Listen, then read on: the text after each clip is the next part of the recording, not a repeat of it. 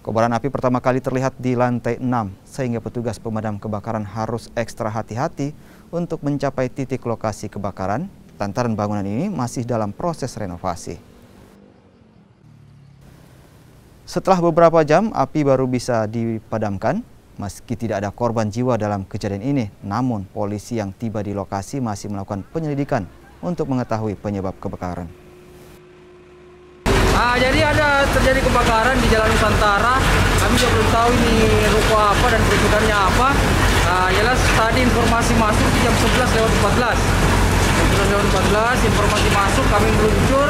Nah, ada tiga posko yang backup, ada posko ujung tanah, terus uh, ada Mako Damkar, terus ada Posko Timur. Nah, armada yang kami turunkan itu ada sekitar 22 unit. Nah, ditambah satu mobil tangga untuk backup karena yang terbakar ini lantai 6. Lantai 6 yang terbakar. Berarti api dari lantai 6 ini Pak? Api lantai dari lantai 6. Nah, kami belum dapat informasi itu tunggu uh, pihak kepolisian yang melakukan olah TKP.